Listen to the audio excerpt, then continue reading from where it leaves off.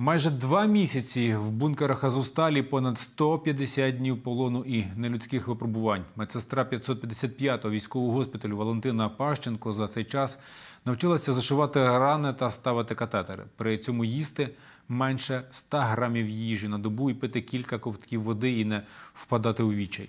Цей час вона жила думками побачити донечку, яку 24 лютого дивом вдалося вивезти із рідного Маріуполя. Історія Валентини Пащенко в сюжеті Вікторії Ковальової.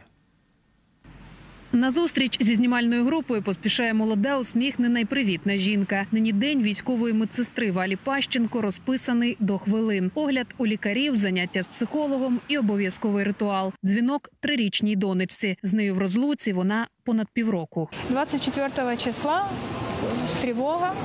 Нас вызвали всех э, в госпиталь.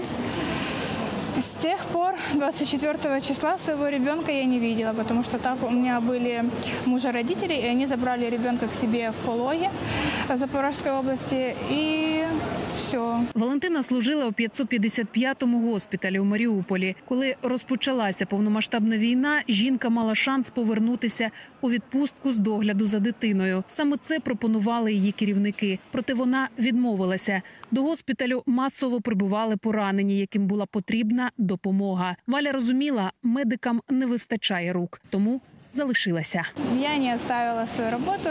Может, все-таки как-то надеялась на то, что это, знаете, как пару дней побудет, такое, это как было в 2014 году, но нет. И потом начали бомбить прямо по госпиталю. По госпиталю, по больнице. Потом мы опять приехали к себе в госпиталь, и нам дали выбор наш командир, либо ехать на завод Ильича Азамаши, либо на Азовсталь. Валентина прожила в одному з бункерів Азовсталі майже два місяці. Каже, попри обстріли і страх загинути, цей час залишив незабутні спогади. Это были тяжело раненые больные. Это была совсем другая жизнь. Такое ощущение, знаете, как будто война войной, а под, у нас внизу было какой-то другой мир. У нас было всего там пару медсестер. Я научилась быть в качестве врача-хирурга. Да, было пару раз я зашивала э, бровь, щеку зашивала.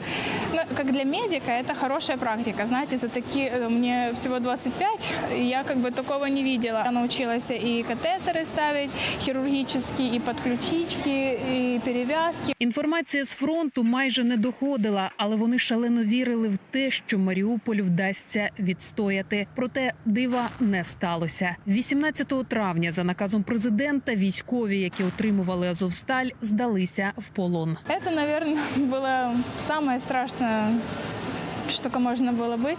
Это дорога позора, мы так ее назвали, потому что мы идем, был дождь, была плохая погода, тут стоят э, другая сторона и начинают нас оскорблять. Начали досмотр. Это как-то неприлично было, потому что трогали вот так вот, ну, очень э, сильно обсматривали вещи, смотрели. Нам сначала вроде бы как обещали, что можно и с, э, со своими спальниками, и там э, мыльное, можно было тоже все свое брать, но на посту у нас, как на блокпосту, где были русские, у нас это все забрали. Далі жінка потрапила до колонії в Оленівці. Там разом із нею в шестимісній камері жили ще 27 дівчат.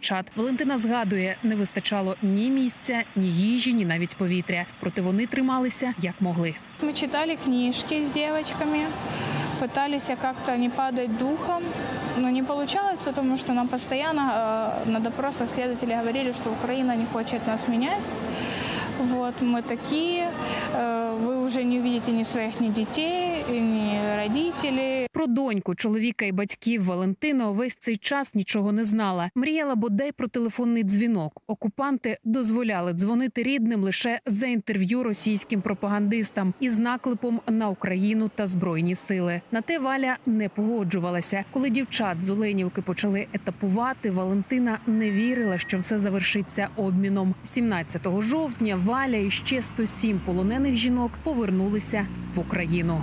И когда мы приехали в Украину, я не знала, как это сказать, и тебя встречают все твое командование, которое осталось здесь, встречаю тебя и с цветами. Нам выдали телефоны, мы позвонили, я позвонила мужу, я сказала, Пащенко Артем Миколаєвич, Е, він каже, так, е, це Пащенко Валентина Сергіївна, Е, я в Україні. Нині Валентина проходить реабілітацію, після якої планує повернутися до служби. Мріє продовжити навчання, стати військовим лікарем і вже в новому статусі повернутися до рідного вільного Маріуполя. За це бореться не лише вона. Чоловік, сестра та мама Валентини теж військові.